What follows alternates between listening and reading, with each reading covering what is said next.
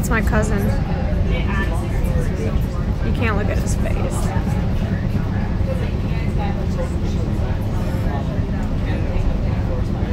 Yeah. It's just, just the Metra. There's a crazy lady on earlier today, and she told me not to sit next to her, and I was like, how rude. And so I just ended up sitting next to some random person instead of like everyone else that I knew.